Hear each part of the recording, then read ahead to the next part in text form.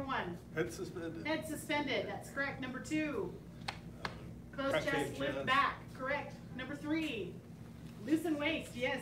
Number four, Shoulder elbow? nope, that's five, it always sneaks up on me. I know. Feet.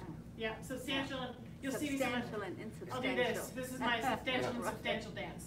So number four is distinguish between substantial and insubstantial. Uh, number five, sink shoulders, drop elbows, correct. Number six, Mind, not strength. use mind, not strength. Number seven, Inside, outside, no, before that. inside, outside. Um, Oh, Upper follow, upper lower. Upper and lower Lower. follow. And number eight, Is inside, inside, outside outside. coordinated, excellent. Number nine, which was the head exploder that we did last class. My head exploded. Connected, head explode, connected without interruption. Yes. Yeah, that's right. Okay, and this one, if you thought your head would, for, for nine, ten is the doozy. Did you notice they increase in like their complexity and their esotericness? Have you noticed it? So this one is the most nebulous of them all. So within motion, find quiet and, within motion, find quiet, motion and quiet become one. Hmm. Yeah. So this is a, it could be said this is the end game, the end goal of Tai Chi. This is what we're all going for. I've heard you can get there. I still struggle. Uh, so commentary, the external systems emphasize jumping ability, expending the chi and the li. Therefore, after practice, there is no one who is not out of breath. Tai Chi Chuan uses quiet to subdue motion. Even when there is movement, there is still quiet. Therefore, when practicing the form, the slower the better. When slow, the breathing is deep and long, the chi sinks into the dantian naturally, that's the center, without the problem of the blood vessels expanding too much. Students should analyze this point attentively so they are able to grasp the meaning of it. You know, like you do. You got it? Oh, yeah, we got Got it, it. yeah, yeah. Uh, No no. problem. It's like, you chew on that, kids. I gotta go. So that's always how I sort of envision, you know, Yang Chengfu is like, okay, get a pen, write this down, I'll be back. Because you know, this is why we all know Yang style is he, he went and taught to so many people who then went and taught to other people. And so this, these were the ten important points that he left with his followers and his students in his kind of home base for, to work on when he wasn't there. And, um, you know, being, being an instructor, I kind of chuckle a little bit, like maybe he made some of those a little tough to chew on. Like, yeah, keep working on that for a while. You know, so um, this one for me is always de- is definitely one of those. So you repeat that again, please? within motion, find quiet. Motion and quiet become one. Uh, sometimes you'll hear stillness in motion is, is another way of describing this. So it's it builds on it builds on all of them, right? And it definitely builds on number nine, continuous without interruption. Uh, but it's the quietness that's added onto this because you can get real loud in your head by thinking about points one through nine. You know, and this is about turning that volume down, not stopping, being very still, as still as you're able to be. I talked a little bit about it last class that there is a limit to how slow and still you can be depending on your training because uh, there, in order to do the form, not break your Tai Chi is what I say, you know, so that you can keep these ten important points, there's a limit. Because if you're new to it, you can't, it would be inappropriate to think somebody who's been training for a year to be able to move as slowly and as connectedly as somebody who's been training for ten years. It's not, it's, that's not comparable.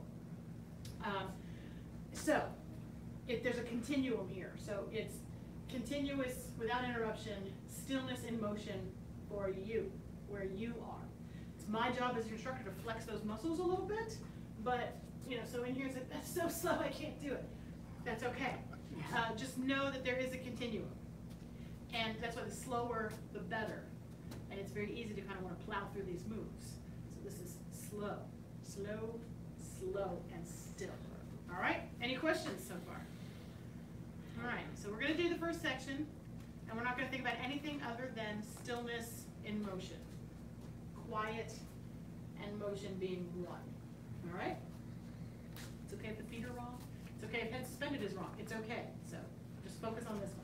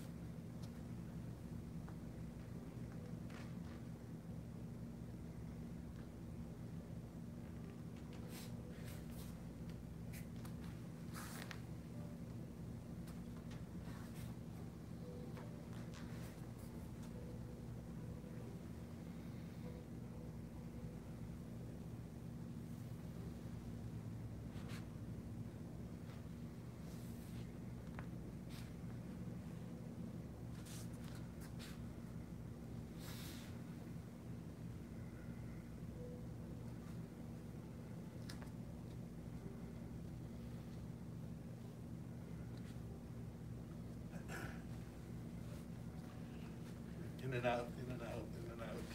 In and out, in and out, yep. Just Any Think I other- got it, I got it, oh, no, I got it. Yeah, we- Caroline?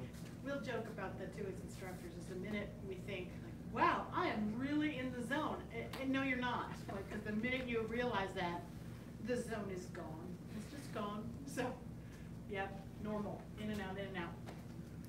Any other observations or comments? One question about uh, clearing the hands at Uh-huh. the end. Are you facing forward or side? Oh, for- you mean crossing hands or, or the, Yeah, crossing hands, or the, so, no, no, clearing the hands. so once you've done this, with the, the Yeah. withdraw and push? Well, uh, head instructor Fig always called it, you clear the hands, so that's what I do. After It's- hidden it's hand just a- It's, it's a chapter You do punch. clear the hands, that's, a- that's an instruction, the name is withdraw and push, but you clear the hands to withdraw and push. So I'm here in hidden hand punch. Yes, And I clear this hand yes. in order to do withdraw and push. So Right. this, this move is called withdraw and push. Okay, the withdraw and push, when you're here, Mhm. is your body at an angle, or are you facing forward? I turn a little bit more to the left Oh. in order to slip this hand, I'm here. Yeah. In order to slip this under, I turn a little Oh. more to the left. Does that make sense? Yeah, I never noticed that before. Yeah, so the question is how do you clear the hands at the end of hidden hand punch in order to do withdraw and push? So I'm here and I'll turn a little bit more and then I, I don't really move this arm, I just, by turning, it naturally wants to slip under a little bit. So I turn my waist a little bit more to the left. Then I withdraw and this is that clearing the hand that you'll hear us talk about to do that push. Does that help? Yes, ma'am, thank you. Excellent. All right. Nice. All right. Yeah, we can do it one more time. We're a little bit over time, but I know we got some. Basic went long. This was a long explanation and I don't want to cheat any Tai Chi time. So again, stillness and movement.